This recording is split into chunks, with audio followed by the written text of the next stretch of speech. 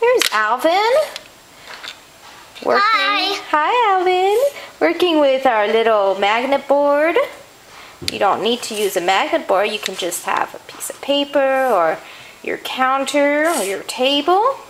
And we're practicing our tall, fall, and small letters. So he's putting them in place.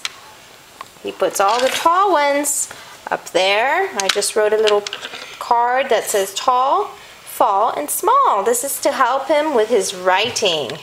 Because sometimes he gets a Yuck. little mixed up. You did them all. Good job, Alvin.